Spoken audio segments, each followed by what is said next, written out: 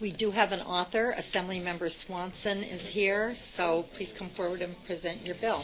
AB 12 would allow a judge the discretion to fine a John who has sex with a minor up to $25,000 and would use those uh, funds to support programs that help commercially sexually exploited uh, minors with wraparound services.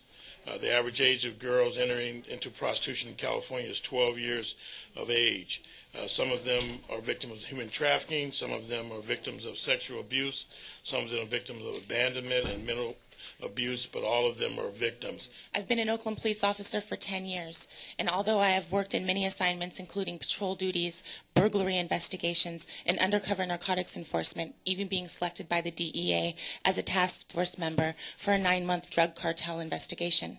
But nothing has affected me and touched my heart like the issue of human trafficking and the commercial exploitation of our children. I've been involved in combating this modern day form of slavery since 2003.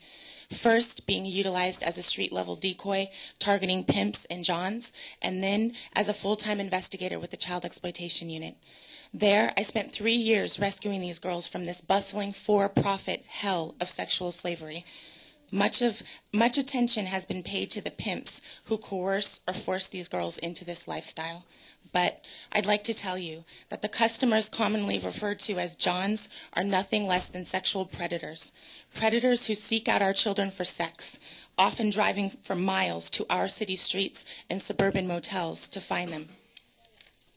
These predators operate in a dark underworld and have their own subculture and language, using the internet to help one another locate and buy children and also to advise one another how to thwart law enforcement and avoid detection by wives and loved ones. After paying pimps to repeatedly rape our kids, they usually return to their lives undetected, unpunished, or with a slap on the wrist. While the victims suffer emotionally and physically, and we as a society are left to try and undo everything they've done. Jennifer Baker with the California Teachers Association and strong support of this measure. Teachers often witness um, the early signs and uh, detect abuses that happen and had often found situations where children that were in their classrooms were being used in this way, and so we very much support this measure. Thank you. Rebecca Gonzalez, National Association of Social Workers, California chapter. Um, obviously, social workers also see the effects of, of this kind of exploitation, and our organization considered this bill important enough to be one of our three top priorities in our lobby days this year, and we strongly support the bill.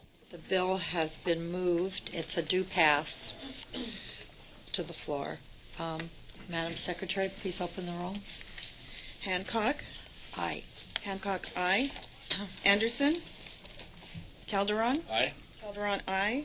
Harman, Aye. Harman, aye. Liu, Liu, aye. Price, Price, aye. Steinberg,